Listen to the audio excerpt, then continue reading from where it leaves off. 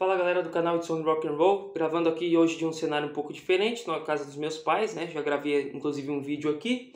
E hoje eu quero mostrar para vocês um mega presente que eu recebi. Né? Fico até sem palavras, é daquele tipo de coisa que você abre o pacote e se emociona com, com o conteúdo que tem ali. Tanto que eu farei esse vídeo em duas partes, né? São muitos itens, nós temos aqui CDs, DVDs, boxes e livros. Então uma variedade de itens muito grandes, algumas de umas, é, itens muito raros, alguns itens de bandas que eu ainda não tinha nada, enfim. Então, coisas muito legais eu gostaria de mostrar aí com um pouquinho mais de detalhes do que o normal é, nesses vídeos de aquisições. Então, estarei recebendo, mostrando esse presente de um inscrito do canal que mandou, é, pediu, disse que não precisava revelar o nome dele, mas ele sabe quem é. Muito obrigado mesmo, né? Sempre expressando a minha gratidão aí por você. São itens que eu demoraria aí anos, provavelmente, para é, chegar até eles. É, para quem está aí assistindo ter uma ideia, esse daqui é o tamanho do pacote onde estava guardado tudo. Então eu estarei fazendo aí em duas partes e mostrando para vocês. No vídeo de hoje eu mostrarei os DVDs e os CDs. E na parte 2 eu mostrarei os boxes e os livros que eu recebi. Mas antes de começar esse vídeo, eu faço um convite para que vocês estejam é, respondendo uma pesquisa muito importante uma iniciativa do canal Desconecta. Temos aí um formulário fazendo um levantamento, né, uma pesquisa sobre o panorama de colecionismo de mídia física no Brasil. É, dura poucos minutos para que você possa responder, é uma espécie de um censo ali que nós estamos fazendo e uma grande iniciativa aí para nós colecionadores, para nós que ainda é, consumimos mídia física, eu tenho certeza que será uma coisa muito importante, um passo muito importante aí é, para que o mercado possa olhar com mais atenção para nós, para que nós possamos também nos conhecer enquanto colecionadores, né? Quem somos nós aí, essas pessoas que ainda têm esse hábito de adquirir a mídia física. Então tire um tempo aí, é, alguns minutos do seu dia para responder essa pesquisa, que eu tenho certeza que vai ser muito bom, vai ser muito útil para toda a comunidade. Vou estar deixando o link aí na descrição do vídeo, tá? Então aqui em relação ao canal, se inscreva no canal se ele não for inscrito, deixe seu like que ajuda a divulgar o vídeo e depois comente aí também, diga o que você achou, lembrando também de seguir a página no Instagram. Dados todos esses recados, agora vou mostrar para vocês, começando pelo DVD, né? Recebi um box de DVDs aqui, que é o The Who Definitive. Então, um, um box triplo de DVDs da banda The Who. O The Who é aquela banda que eu não tinha nada na minha coleção ainda e vocês vão ver a riqueza de itens que entraram aqui para mim. Então, é o Live in, the Live in Texas, 1975, um dos DVDs aqui. Temos aqui Live at Kilburn, em 1977. E também o Live at Shea Stadium, em 1982. Então, muito interessante que são shows aí bem é, separados, digamos assim. Começa com um show de 75, temos um show de 77 e também um show de 82, o The Who. Né? Com certeza, assim que chegar em casa, eu já vou apreciar essas obras aqui, que é uma coisa sensacional. Então está aqui o box, né? Muito charmoso, então muito legal aí. Minha coleção de DVDs tem aumentado. Até comprei um, um DVD recentemente, ganhei alguns de presente. E é uma mídia que eu vou estar investindo mais aí daqui para frente isso aqui é muito, muito bonito, muito legal. The Who Definitive. Então esse foi o DVD. Agora em relação aos CDs, né? Ainda não tinha nada do The Who na coleção. Entraram esses DVDs e vejam só isso.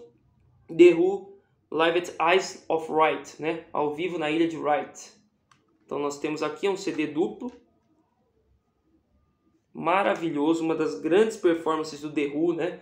The Who ao vivo é algo que não tem erro, é sempre uma coisa fenomenal, fantástica. E esse show aqui é um dos shows mais icônicos da história da banda, sem dúvida nenhuma. Isle of Wight, né, na ilha de Wight. Muito, muito bom. Ainda sobre o The Who, aqui também duas coletâneas, né?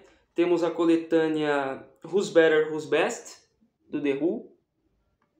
Então está aqui. Bem bacana, bem legal mesmo né, bem completa. Temos aqui também duplo, né? Primeiro, não, duplo não. Esse aqui tem 19 músicas, é um CD simples, mas tem aí 19 músicas, um setlist bem legal aí do The Who. O outro CD do The Who também é aquela coletânea mais popular, né? É o My Generation, The Best, The Very Best of The Who. Então aqui está. Né? Essa aqui tem 20 músicas, também simples aqui, ó muito, muito bacana. Cara, a minha coleção do The Who foi de zero a muitos, muitos itens e ainda tem um outro que vai ficar guardado para o próximo vídeo, viu? E aí sim que é o grande item do The Who que vocês vão ver que eu quase caio para trás na hora que eu abro ali o pacote, né? Lembrando que esse pacote ele já está aberto, eu não fiz unboxing porque ele chegou na casa do meu pai e eu pedi, né? Fiquei curioso para saber o que tinha, pedi para ele abrir e me mandar as fotos. Por isso que eu não fiz o unboxing dele aqui. Só que só agora, né? Só ontem, né? E hoje que eu comecei a pegar melhor desses itens que eu tive uma dimensão da qualidade, da, da grandeza disso daqui, né? Então, até então eu vi por fotos, eu fiquei impressionado, mas agora que tá caindo a ficha. Então, outra banda que eu tenho pouquíssimas coisas, só tenho um CD lá, o Return Forever, é o Scorpions. Então, ganhei aqui essa coletânea dupla, muito bom, né? cobre aí boa parte da carreira da banda, os principais hits estão todos aqui. Então, aqui um CD duplo, tá? No, o outro tá aqui atrás, não vou virar agora. Mas, enfim, grande, grande coletânea do Scorpions. Isso aí já dá uma grande resolvida no meu problema. E falando em Scorpions, né, recentemente falei sobre é, discos ao vivo lá no canal Ilha do Rock. Esse daqui, sem dúvida nenhuma, é um dos melhores discos ao vivo de todos os tempos. É o Scorpions Worldwide Live. Excepcional. Fiquei muito, muito feliz em ganhar esse presente aí. Incrível, um dos maiores álbuns ao vivo da história aí. Celebrando é, uma, uma fase de transição aí na carreira da banda. O Uli John Hoff foi a última gravação dele aqui, o, o guitarrista antes da entrada do Matthias Jacobs e a banda seguir um novo direcionamento. Disco espe... Não, na verdade estou falando besteira. Esse daí é o Tokyo Tapes, né? Falei besteira. Esse daqui já é com o Matthias Jacobs, né? Então esse aqui ele cobre essa nova fase, esse novo período da banda. É quase que eu confundo porque são dois ao vivo fantásticos, né, do Scorpions. O Tokyo Tapes, esse sim é dessa fase de transição e o Worldwide Live aqui, que é gravado aí em várias localidades do mundo. Excepcional, já com o Matthias Jacobs na banda Incrível esse disco ao vivo aqui. E aí, completei uma discografia de estúdio. Vejam só, faltavam dois CDs dessa banda para completar a discografia de estúdio e os dois foram mandados para mim nesse pacote. Então nós temos aqui, estou falando do Van Halen, né? Então faltava para mim o Fuck, o For Unlawful Carnal Knowledge, né? Mais conhecido aí pela sigla Fuck. Esse álbum vermelho aqui, muito bom, muito pesado, muito legal com o Sammy Hagar né, que tem sido difícil de encontrar esse álbum. Esse é o próximo que eu vou mostrar para vocês, um dos grandes discos aí da história do Van Halen também. E o outro que eu ganhei do Van Halen para fechar a coleção foi o OU812, também mais um da fase Sammy Hagar. Agora todos os 12 álbuns de estúdio do Van Halen estão presentes na minha coleção. Esse daqui era o que tinha maior dificuldade de encontrar numa condição bacana, num preço bacana. E esse item aqui está simplesmente impecável e retocável maravilhoso aí, então, muito feliz em completar a discografia do Van Halen, que é a quarta discografia completa de estúdio que eu tenho na minha coleção. Completei o Led Zeppelin, depois completei os Rolling Stones, completei o Roxy Music e agora temos também o Van Halen aqui, graças a esses dois, o Fuck e o OU812. E aí, para encerrar esse vídeo de hoje, é, alguns dos Rolling Stones e um, um outro aqui do Led Zeppelin, né? É, os Rolling Stones eu tenho a discografia completa de estúdio, eu tenho bastante álbuns ao vivo, mas alguns ainda me faltavam, inclusive esse. Eu acho que essa era a maior ausência da minha coleção se tratando de Rolling Stones, que é o Love Live, né? Isso mesmo, isso, Love Live, que é um disco duplo de 1977, se eu não me engano. Então, um disco fenomenal aí ao vivo dos Rolling Stones. É um dos melhores mais importantes da banda nesse sentido. O outro CD está aqui atrás, não vou mexer aqui agora, porque isso aqui é um pouco chato de fazer. Mas enfim, tá aqui os dois CDs bonitões. E esse Love Live é um dos grandes álbuns ao vivo dos Stones. Provavelmente a maior ausência de um disco dos Stones na minha coleção. Não falta mais. Um outro muito, muito importante, muito interessante que eu consegui, esse aqui já está esgotado no Brasil, pelo menos assim para você comprar novo, é o BBC On Air, né, que cobre ali apresentações dos Rolling Stones para a BBC, para a rádio BBC durante a década de 60. É uma obra espetacular né? Temos aqui charmoso, esse CDzão laranja, né? Esse aqui veio lacradinho, maravilhoso. Tem aí, acho que são 18 músicas cobrindo aquela fase inicial da banda, bem sessentista, né? Bastante covers de blues, bastante músicas originais ali da banda do começo da carreira. Maravilhoso também.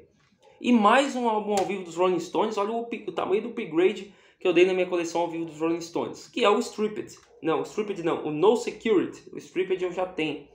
Então, No Security aqui é de meados da década de 90, Se eu não me engano, no Security é da turnê do, do Voodoo Lounge. Então está aqui, muito bom. Né? O primeiro aí é, registro ao vivo, acho oficial, com o baixista Daryl Jones, que substituiu o Bill Wyman. Maravilhoso e é um grande disco, tem um setlist incrível aqui, né, como Waiting on a Friend, Saint of Me. É, então, na verdade, não, tem Saint of Me aqui, é turnê do Bridges to Babylon de 1997. Então, ele saiu ali no final da década de 90.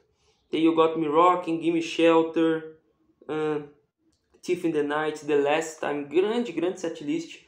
Muito bom também esse disco. E para finalizar esse primeiro vídeo aqui, essa primeira parte, peguei também as sessões na BBC do Led Zeppelin, né? Mostrei para vocês as Rolling Stones ali. E eu tirei o encarte aqui de dentro já para não dar muito trabalho, mas está aqui, ó, BBC. Sessões do Led Zeppelin para BBC, tá aqui o encartezinho bem legal. E é um disco duplo, né? Então tá aqui, ó, CD. Led Zeppelin The Complete BBC Sessions.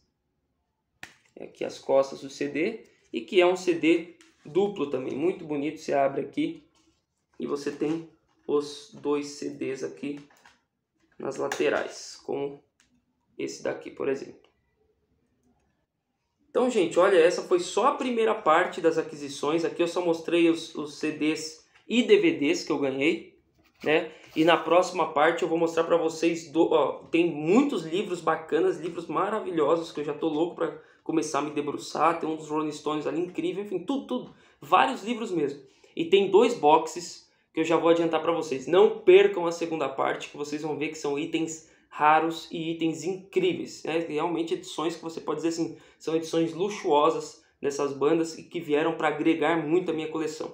Então, muito, muito obrigado mais uma vez pelo presente. Muito obrigado pela sua audiência, você que assistiu até aqui. E agora eu quero saber de vocês. Deixe aí nos comentários o que você achou, se você também já ganhou alguma coisa, se você tem algum desses itens aqui. Vamos ter essa interação. Lembre-se de se inscrever se ainda não for inscrito, deixar o seu like e seguir a página no Instagram. Muito obrigado e até a próxima.